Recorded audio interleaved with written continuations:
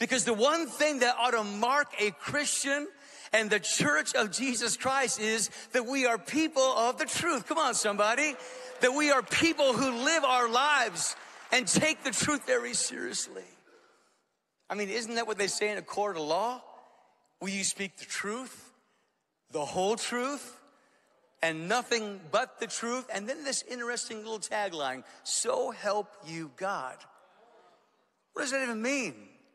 It means, and we'll see at the end of this message, that if you are not a person committed to the truth, you may be going to heaven because you confess Jesus Christ. But if you're not committed to the truth verbally and vocally in the world, God has no commitment to you to manifest his presence in your life unless you commit to being a person of the truth.